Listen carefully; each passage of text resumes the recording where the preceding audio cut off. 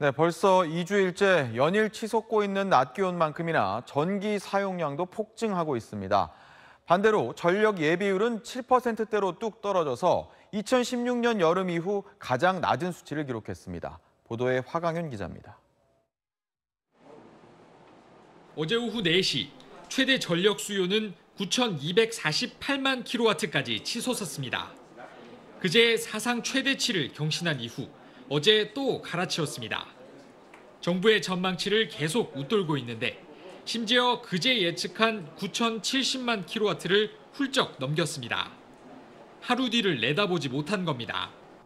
예비 전력은 709만 킬로와트, 예비율은 7.7%를 기록했습니다. 오후 3시엔 순간적으로 7.5%까지 떨어지기도 했습니다.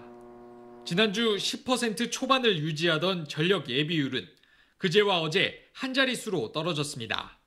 2016년 8월에 기록한 7.1% 이후 가장 낮은 수치입니다. 전력 예비율은 대형 발전 설비의 고장 등 돌발 상황에 대비해 10% 이상을 유지해야 안정적인 것으로 평가됩니다. 전력 수요가 당초 예상을 크게 웃돌았지만 정부는 기업의 수요 감축 요청, 즉 DR은 요청하지 않기로 했습니다.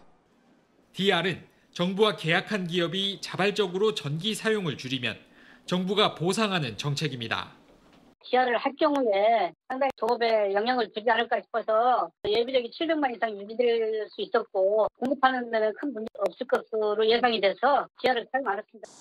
폭염이 계속되는 만큼 휴가철이 본격 시작되는 이번 주말이 돼야 전력 상황이 나아질 것으로 보입니다. SBS 화강윤입니다.